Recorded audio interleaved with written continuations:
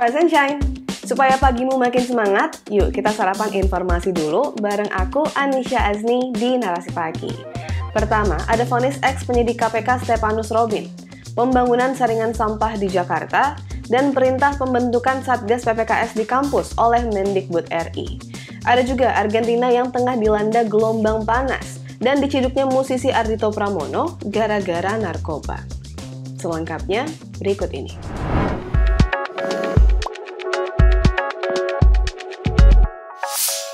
Pertama, ada kabar nih dari sidang vonis ex penyidik KPK Stepanus Robin Patuju.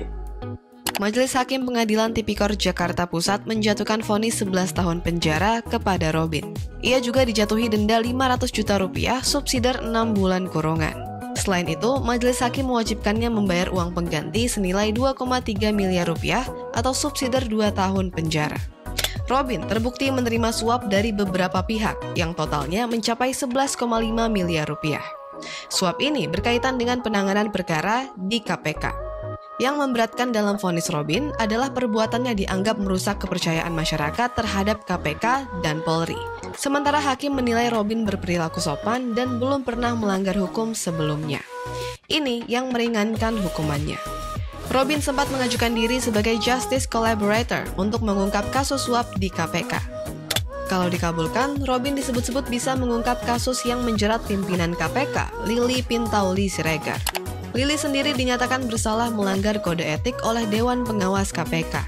Ia berhubungan dengan wali kota nonaktif Tanjung Balai, M. Syahrial. Sementara M. Syahrial ditetapkan sebagai tersangka korupsi kasus jual beli jabatan. Namun, majelis hakim menolak permintaan Justice Collaborator Robin. Hakim menilai permintaan Robin tak ada relevansinya dengan perkara yang sedang disidangkan. Robin memang terbukti bersalah. Gimana nih? Penyidik KPK terbukti menerima suap begini. Gimana nasib pemberantasan korupsi? Surem sur. Pemprov DKI Jakarta menganggarkan 197 miliar rupiah untuk pembangunan saringan sampah. Seperti apa ya bentuknya? Menurut rencana, saringan sampah ini akan dibangun di ruas kali Ciliwung, Jakarta yang berbatasan dengan daerah penyangga. Pemprov DKI mengatakan ketika musim hujan dan debit air tinggi, banyak sampah berukuran besar yang hanyut. Sampah-sampah ini biasanya menumpuk di pintu air Manggarai. Nah, saringan sampah didesain untuk mencegah penumpukan itu. Nantinya, saringan ini bakal dilengkapi pengolahan sampah, kompos, serta bendungan terpadu. Pembangunan saringan sampah akan menggunakan anggaran APBD DKI 2022. Namun, masih ada permasalahan soal pembebasan lahan. Ketua Komisi D DPRD DKI, Ida Mahmudah, mengungkapkan masalah pembebasan lahan terjadi pada 2021. Semisal pembebasan lahan belum bisa dilakukan juga tahun ini, dana pembangunan akan dititipkan ke pengadilan atau konsinyasi. Oke, yang penting pembebasan lahannya harus adil dan tidak merugikan warga ya. Dan yang paling penting harus beneran dibangun dan berfungsi sebagaimana mestinya. Mendikbudristek Nadiem Makarim meminta seluruh kampus membentuk Satgas Pencegahan dan Penanganan Kekerasan Seksual tahun ini. Ini disampaikan Nadiem saat menanggapi riset Saiful Mujani Research Center tentang Permendikbud nomor 30 tahun 2021 tentang pencegahan dan penanganan kekerasan seksual di lingkungan perguruan tinggi. Target selanjutnya adalah pada tahun ini semua perguruan tinggi di Indonesia memiliki satgas pencegahan dan penanganan kekerasan seksual.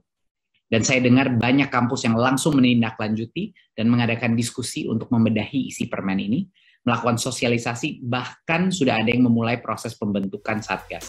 Nadiem bilang Permendikbud PPKS tak hanya diimplementasikan di dalam kampus. Ia mengharap masyarakat umum juga turut serta untuk memerangi kekerasan seksual. Permendikbud ini menunjukkan tajinya dalam kasus yang baru-baru ini terjadi di Universitas Muhammadiyah Yogyakarta. Mahasiswa berinisial MKMT dikeluarkan secara tidak hormat karena memperkosa seorang mahasiswi. Tak hanya itu, hasil investigasi pihak kampus melaporkan ada dua mahasiswi lain yang menjadi korban. Dari sisi regulasi, DPR masih belum juga mengesahkan RUU Tindak Pidana Kekerasan Seksual atau TPKS ini jadi undang-undang. Terakhir, para wakil rakyat di Senayan menyebut RUU ini akan jadi inisiatif DPR 18 Januari 2022 nanti. Pokoknya, kita akan dukung semua upaya untuk mencegah dan menangani kekerasan seksual. DPR, jangan mau kalah dengan kebijakan Mendikbud ini ya. Argentina diserbu gelombang panas. Suhu di sana sempat mencapai 45 derajat Celcius. Suhu 45 derajat Celcius tersebut membuat Argentina menjadi tempat terpanas di bumi untuk beberapa jam. Bahkan pada dini hari, suhu bisa mencapai 31 derajat Celcius. Gelombang panas ini disebabkan oleh siklus La Nina yang menerpa wilayah itu. Meteorolog mengatakan gelombang panas ini berpotensi mencatatkan rekor dalam sejarah cuaca di Argentina. Kondisi di sana makin parah karena krisis energi terjadi. Ini membuat pemadaman listrik besar-besaran harus dirasakan warga di sana. Sekitar 700 ribu orang di sekitar Buenos Aires harus bertahan dengan defisit listrik. Secara global, data NASA memang menyebut suhu di bumi terus mengalami kenaikan. Sejak akhir abad 19 atau periode akhir praindustri, suhu bumi mengalami kenaikan 1,18 derajat Celcius. Pada 2050, suhu bumi diperkirakan naik lebih dari 2 derajat Celcius dari suhu masa praindustri. Tahun 2016 dan 2020 menjadi tahun terpanas planet ini. Tuh, naik 2 derajat Celcius aja bikin krisis iklim makin nyata. Terus, menunggu apa lagi untuk bergerak mencegah krisis iklim?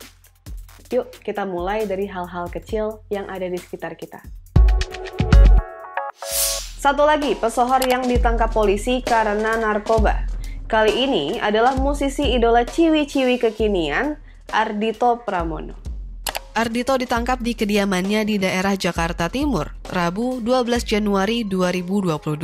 Polres Metro Jakarta Barat menyatakan bahwa hasil tes urin Ardito menunjukkan positif narkoba. Ia disebut menggunakan narkoba jenis ganja. Hal ini dikonfirmasi oleh Kabit Humas Polda Metro Jaya, Kombes Endra Zulpan. Kepolisian akan menggelar konferensi pers lebih lanjut pada hari ini, 13 Januari 2022. Ardito jadi pesohor kesekian yang ditangkap karena penyalahgunaan narkoba beberapa bulan terakhir. Sebelum ini, ada aktris Nia Ramadhani dan suaminya Ardi Bakri, komedian Choki Pardede, dan pedangdut Felin Chu. Wah, sayang sekali. Sista-sista kemungkinan mesti kehilangan sosok Ardito Pramono nih dalam beberapa waktu ke depan. Butuh segera cari musisi idola baru nih kayaknya. 5 berita sudah kami sajikan buatmu. Seperti biasa, Narasi Pagi akan hadir lagi besok pukul 8 waktu Indonesia Barat, live di Instagram Narasi Newsroom dan Mata Najwa. Terima kasih sudah bergabung, semoga Kamismu menyenangkan. Bye-bye.